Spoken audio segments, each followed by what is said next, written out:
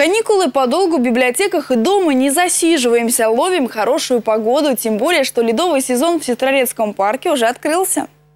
Шайбы, клюшки и коньки – спортинвентарь и символы зимних активностей. Старт ледового сезона дал товарищеский матч детской хоккейной команды школы Олимпийского резерва «Клин спортивный». Нападающий Дима Трусов только во время разминки ворота противника отправил 4 шайбы. Мы вроде бы выиграем, вот они только что сравняли. Тут э, лед такой же, как и в ледовом, вот тут удобно.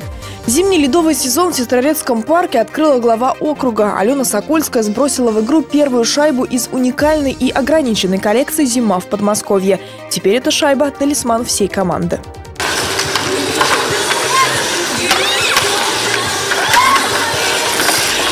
Я уверена, что в дни зимних каникул подсоединятся все э, ребята, которые стоят на коньках, все девчонки,